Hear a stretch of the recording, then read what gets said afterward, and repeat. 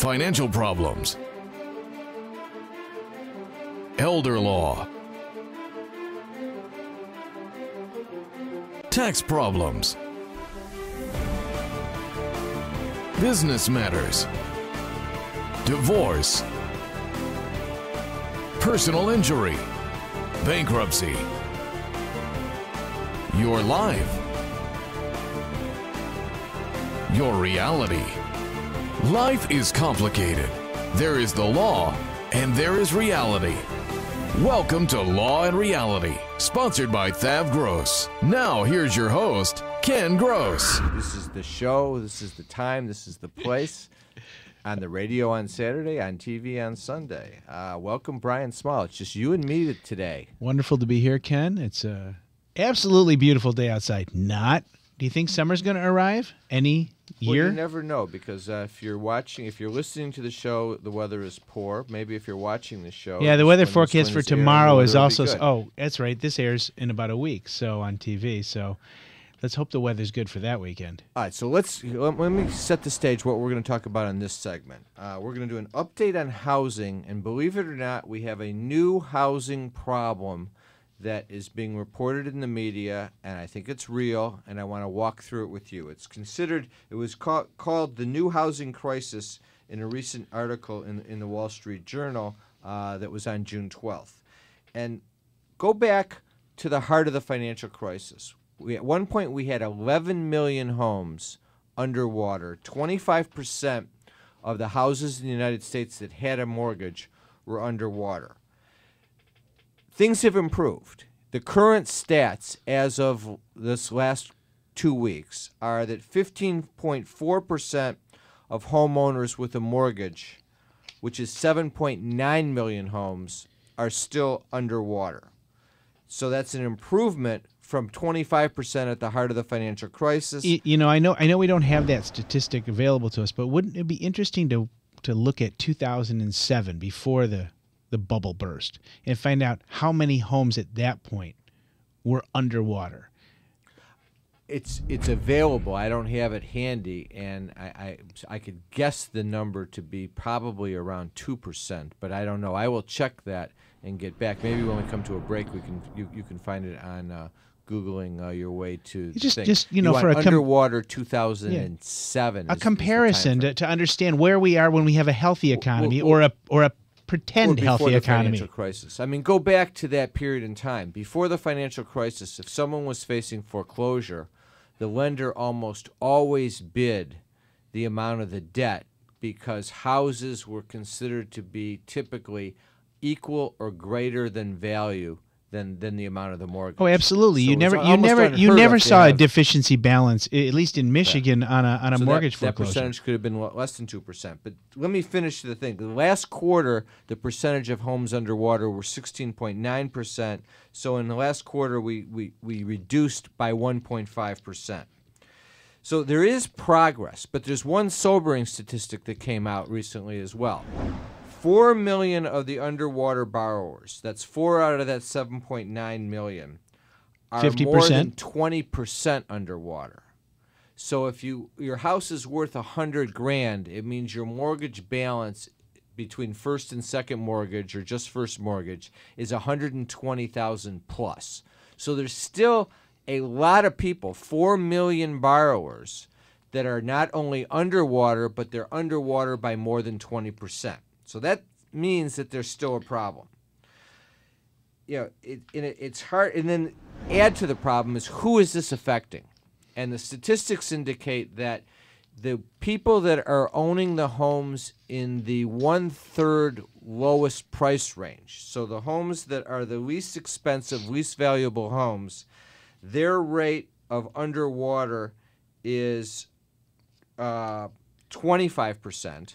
So you're saying that, that a quarter of the owners A, th- a third of the owners that the, the third of the owners that have the least valuable homes of those third 25% of those people are underwater. Okay, so for your your starter home kind of concept, most of those people, their homes are the lower value homes, and they are one third of those people are underwater in their homes. I would go starter home and also municipalities, city, city of Detroit, city of Redford, the homes that are in the, that are right now in the range of a hundred to a hundred and fifty thousand compared to the homes that are three hundred thousand dollars plus. Got it.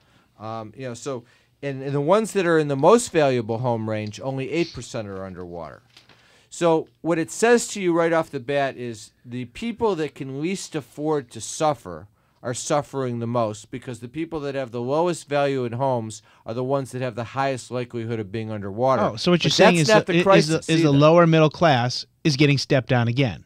Yeah, yeah, I, I, I think that's a fair There's a of- shock. yeah, I mean, uh, it is what it is. I guess is is the answer to that. But let's go to the next problem. The next problem is the HELOC problem. What Now, is a HELOC? do you know? I do. Should we tell our audience? Do you know what the le- w- letters stand for? Home equity line of credit. Now, I've always called it a, a HELOC because I've known that term. Most, some, most, many people do. A lot of people don't. But when I went to fill in the acronym right off the bat as I was go- doing the outline, I started off and I went home equity loan, and then I went home equity loan. What could the OC be then?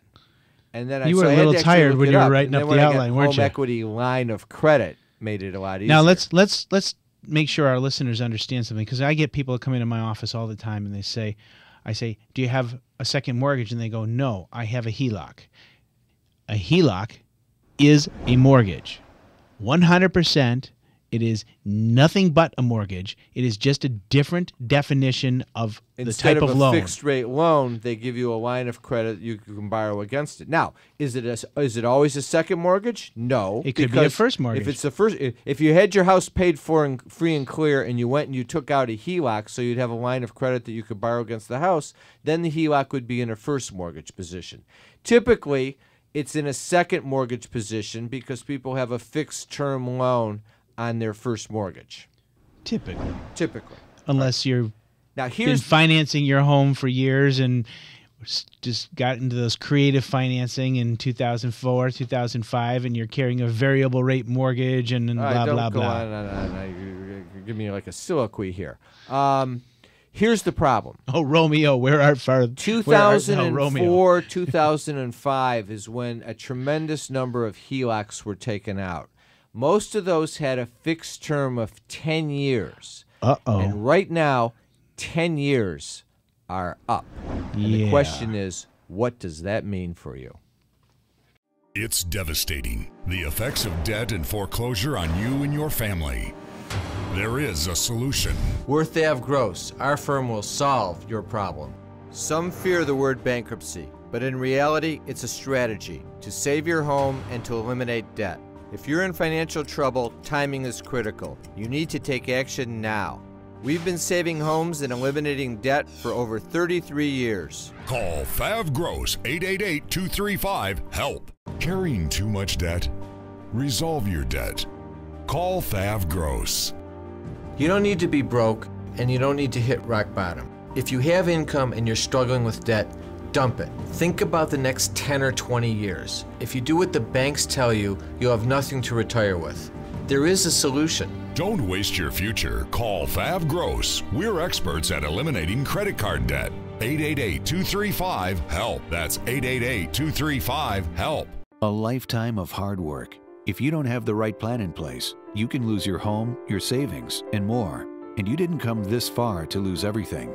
Simasko Law wants you to know that laws are changing. Today, the average cost of nursing home care is $85,000 a year. With proper planning, we can help protect your life savings and get you the medicated nursing home benefits you deserve.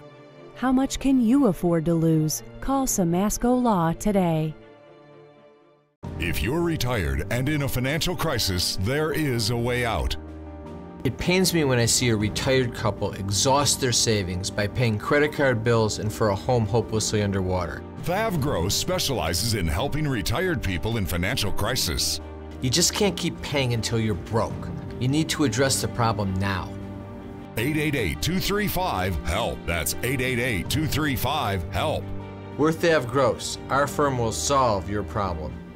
All right, welcome back. All right, so let's frame this issue on the HELOC. So HELOCs are out there, home equity lines of credit. They were on a 10-year loan. A lot of them were 2004, 5, and 6. Now they're coming due. They come due one of two ways. I have one. I'm with with Citi. I've been getting notices for the last six months that says to me, starting in August, my loan converts to a 20 year amortization. For the first 10 years, it was interest, Interest only. only. You could borrow on the on the line of credit as you chose up until the financial crisis when they sent me a letter saying you don't have any equity in your home, so your line is frozen. You you can pay us, but you can't borrow anymore. Uh, but now, so I've been paying the interest only along the way, and actually, since things have gotten better, and I decided to keep the house, I increased the payment and started making a payment greater than that. But my p- contractual payment is going from 150 bucks a month, which is basically what the interest is, a little bit less, to 325 starting next month. You're lucky. And that right? Do you So know why you're lucky? No, Tell me why I'm because you have I mean, I mean, I think I'm inherently lucky. Yeah, but well, but why- you because the type of HELOC you have, at least puts you in a position where you have a keep- you I have can an keep your house right. because it changes to a 20 year amortized loan. A You lot that, that doesn't happen for everybody. it indeed it does not. There are two types of HELOCs as you started to say. One is a reamortizes out to pay the principal and interest over the remaining either 5 years, 10 years, 15 years or 30 tw- uh, 20 years or it comes due. Period and there's a balloon. And traditionally well, don't get into the scope of solving the problem now. But No, no, no. lay, But lay it out here. But but because I want- traditionally, what what you when you took out a balloon note, the policy and the what you would always do is you just go back into the bank and you'd refinance it, or but, you'd but put now your two suppose loans you're together. one of the ones that are in this category of your you're twenty percent underwater? underwater. you are kind of stuck unless there's some solutions out there for And you, which gonna- there we're- are. We're going to go through the solutions. Let me give you just the numbers of how big this problem is. It says in 2004, uh, borrowers who signed up for HELOCs in 2004 were 30 days or more late on 1.8 billion dollars of loan balances just after four months of principal payments coming in. So these are people that have kicked into like my my my HELOC where they're required to make the higher payment and they are already running 1.8 billion behind. When this they're represents four months into the new payment, that bumped up two three hundred bucks for them. they're That's at four months uh, coming after it comes due. One point those borrowers are 30 days or more behind. correct. What? Yeah, and that's 1.8 billion, which represents 4.3 of the balances on 2004 HELOCs, which is up from 2.7 So the delinquency rate percent. is increasing on home double. equity lines of credit. Right. And this is we're just starting 2004 year. So we're just starting to get into the the HELOCs coming due. Yeah, let me tell you what comes comes next. 3.2 million HELOCs are going to come due, either balance due or convert to a term loan between 2005 and 2007, which means between 2015 and 2017. And that's 186 billion dollars worth of HELOCs. So this is this isn't like the first mortgage problem where you had trillions of dollars at issue, but this is going to affect a lot of people. Well, this is this this type of situation can really affect the bottom line of the banks without putting them into because they carry that a a, a, a total cataclysmic failure. Now the question on that is why, and the reason, and, and see if you agree with me, Brian. The reason is banks typically hold the second mortgages in their portfolio. They don't. They don't become securitized, securitized uh, uh, vehicles that are sold off like the whole first mortgage market goes. And you know when you have an FHA or you have a Fannie Mae or a Freddie Mac loan on the first mortgage, the bank is guaranteed on that mortgage if if you don't pay. Not true when it comes to the second mortgage. That's my understanding of them also. So yeah, you've got you've got the banks are actually going to get squeezed on this, which, which is be good a because good thing. It'll cause them to maybe have a level of flexibility to let's go back to a little Monty Hall days of let's make a deal rather than just Wait, uh, wait, being wait. big Did bag, you just big suggest big that a- bank. Big bad bank might have Do to have compassion. No, not Mm. a chance. practicality. Ah, Real- practicality, their bottom I line, think a big their bank- bottom line. A big bank, just like the consumer and everyone else, deals with reality. And reality is if the big bank realizes it's not going to get paid and it's facing foreclosure as the alternative, and it's going to take the loss rather than push it off on the government like it happened in the entire financial crisis, I think the big banks will deal. But that comes down to what our options are. Let me Bank of America, 70% of its home equity balances right now are in homes that are underwater. You just said 70. You mean 17. 17%, thank you. And Citi, the same statistic is 13% reported this month. So it's a big problem. Now, the range of problems comes to this the HELOC comes due. It's either going to convert to a balance due or interest to a 20 year term. So your little, your little payment becomes a big payment. Your house may be underwater. Your first mortgage may exceed the fair market value of your home or your home is underwater, but not because of the first mortgage, but because of the HELOC. And now I need you, Brian, the wizard of bankruptcy and financial crisis management, the second wizard of financial crisis management, to figure out what our options are. Now, let me give you scenario number one as we lead coming up to the break. The HELOC comes due. It's not converting to a 20 year term. What are my what are what are my options? Well, that's simple. You just write a check and pay it off. Problem solved. So it's a no fifty problem. thousand No problem. fifty thousand dollar balance. You write the check. Write a check. All right. Just in case I'm a little cash short at the moment, and I don't have the fifty grand cash, can you give me another alternative? Absolutely. Go to the bank, take out a new mortgage encompassing the old mortgage, refinance. Okay. Can I use HARP for that? You know, unfortunately, you can't use HARP for that. Wait, If- wait, what is HARP? It's like The? Home Affordable Refinance Program, unless the house is a fan, unless the loans are Fannie Mae or Freddie Mac, and you can't use that. And the HARP will not. The HARP will refinance the first mortgage, but it won't refinance the second. They don't. that's they don't- they that's don't the way the you to do current program works, which right? is- which maybe they'll change that because this problem is going to get big enough, but it's going to take an act of of uh, of the administration. it might take an it. act of God. It could be a miracle. Well, we're coming up to the break, but I could also sell the house, right?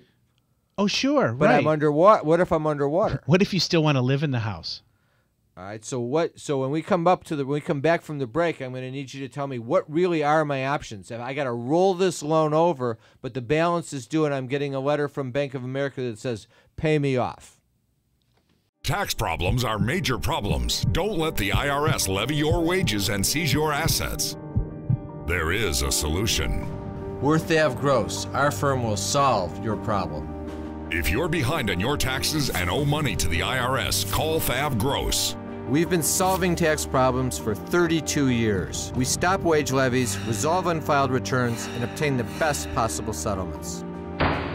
Call Thav Gross today, 888 235 HELP. A lifetime of hard work. If you're approaching retirement and don't have the right plan in place, you can lose your home, your investments, and your savings. And you didn't come this far to lose everything. Putting a solid strategy in place with Simasko Law legally protects your assets as well as your wishes. Since a will doesn't cover you medically or financially, Simasko Law goes beyond ordinary asset management protection to safeguard everything you have. How much can you afford to lose? Call Simasko Law today. Is the debt piling up? Struggling to get by? It's all about preserving future income. Bankruptcy is one option. When it's right, it's the least costly, most effective way to save your home, eliminate a second mortgage, and wipe out credit card debt. But you need to address the problem now. We help people with bankruptcy. Call the experts. Worth Ave Gross. Our firm will solve your problem. 888 235 HELP. That's 888 235 HELP. Carrying too much debt? Resolve your debt. Call Thav Gross. You don't need to be broke, and you don't need to hit rock bottom. If you have income and you're struggling with debt, dump it. Think about the next 10 or 20 years. If you do what the banks tell you, you'll have nothing to retire with.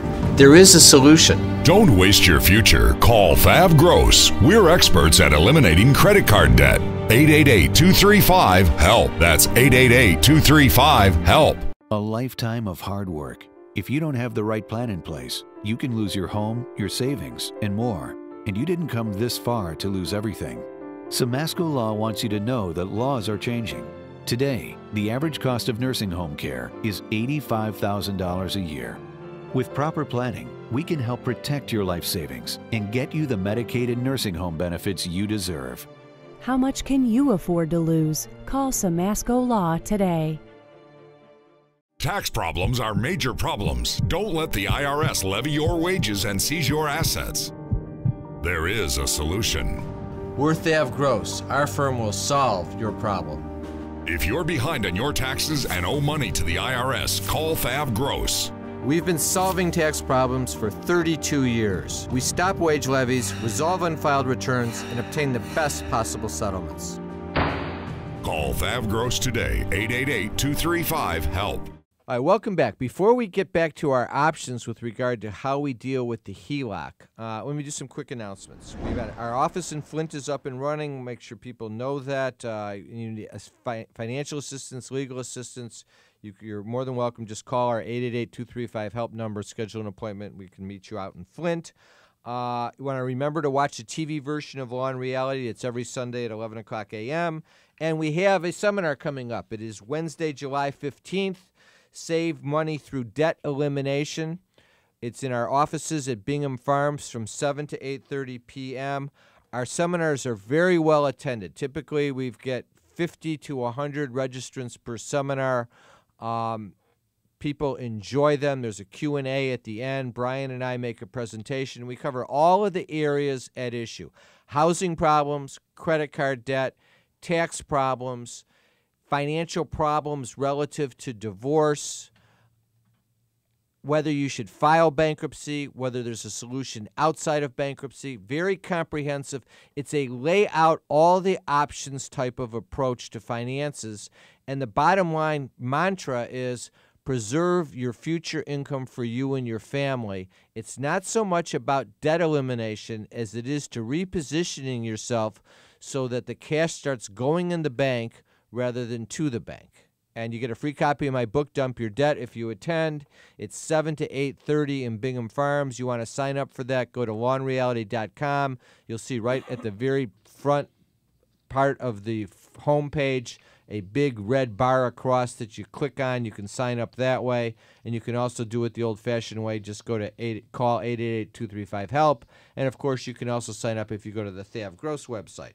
I want to thank our sponsors, Thav Gross and uh, Pat Simasko from Simasko Law. We also have free reports. You can get them on the Law and Reality website. Uh, Retiree's Guide to Social Security from Pat Simasko, and Reg X, How to Save Your Home, The Hidden Secrets Using Reg X, written by myself. Both of those are available on the Law and Reality website for free. Now back to the HELOC. So I don't want to sell the house. I don't want to short sell the house. The loan is due.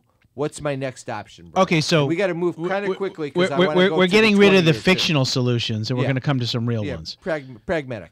All The right. lender- so the first thing you should do before you consider any harsher reality, uh, so to speak, is pick up the phone and start calling the lender. See what type of programs that they have available.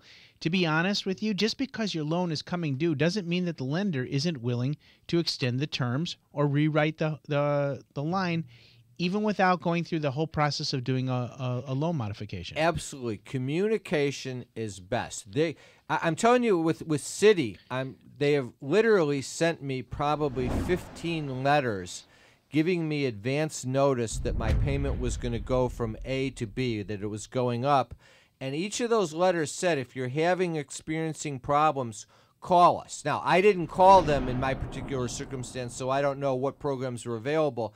But if if you're underwater, particularly, the lender doesn't really want to be in a position that he has to foreclose because there's no equity in the house for the second mortgage anyway. They don't want to foreclose, so they probably want to make a deal. You need to pursue that, but if you ignore it, what will happen? they're gonna they're gonna get you. You're gonna- Ignoring it is a big mistake. You need to address the problem. You know, one thing you, you, you really need to be familiar with if you have one of these home equity lines of credit is what is the, the what do the documents say that you signed? A lot of the documents, a lot of these home equity lines have something called a conversion option. And the conversion option, you have to do something. You within uh, there's a there's there's a the there's a window of opportunity and that window of opportunity is like a 45 day window that you get 6 months before your line and then comes you, due. and then you could make the conversion. I, I my, my window of opportunity to ask you questions on this topic is closing too because we're coming to Got the end it. of the segment. What about chapter 13? Now, How would that work? Let's assume that the lender you lose. No the, deal. the lender No says no deal. The you. lender is going to go to foreclosure. Chapter or sue you for the money. or sue you. Chapter 13 can do one of two things. It can eliminate the HELOC through a lien strip. That's if the house is underwater on the first mortgage. Correct. Or Which means the value of the house is less than the balance on your first mortgage. right. Okay. Or let's assume that twenty, thirty thousand dollar HELOC came due, and they say, "All right, write us a check," and you're like, "I don't have it." Now that's my question. If I, if you throw it into a chapter 13 at that point and the house is not underwater, Uh-huh. Do you get five years to You pay do. the You HELOC c- in you take that loan- the balance is due? They can't just foreclose on No, you. you you can shove a modification down their throats by literally taking the principal and paying it off over five years. So, but you'd have to pay the whole principal off over five You years. do so have to you pay the whole them prin- fifty grand, you're going to have to pay ten grand a year. Effectively, yes. But would that mean At what- interest. How would that work with your other um, credit card debt? Well, that just because it's a secured debt, the that subsumes First. the the so the credit cards money. would get zero. The credit cards could get zero. So even though it sounds like you might get stuck paying a lot on, on on paying off the second mortgage in five years, you would do that to the benefit of getting of paying the credit cards virtually zero. It still And might that- be a good idea, even if then, then you're when you end at five years, you no longer have a second mortgage. Right, because if you let's say they they convert it to a 20-year loan and your 20-year loan is going to be if you take what you owe over 20 years, it's basically two and a half times your your loan balance at that point. Instead of paying two and a half times, you could literally pay one times and be done in the thing years. that I like about it is this: is you have to look at the big picture, and my big picture is this: the days of having your house be the refinancing mechanism of rolling over your debt and paying off your credit card so that you never build equity in your house are over. You got to get the message that that that was a mistake back before the financial crisis and it's going to be a mistake in the future because we're not going to see that appreciation. You need to get a house that's paid off by the time you're 70 so you have that equity available so that you don't have to make a mortgage payment when your income goes down. You know, the, one more thing about Chapter 13. If you get behind on that home equity line of credit, Chapter 13 can be used to catch you up too. And the last thing is remember, if you're ever facing foreclosure and the foreclosure sale date is imminent and the time is up to make a deal, if you file that Chapter 13 before it goes to sale, You stop the foreclosure. sale. We'll be back with the next segment of Law and Reality.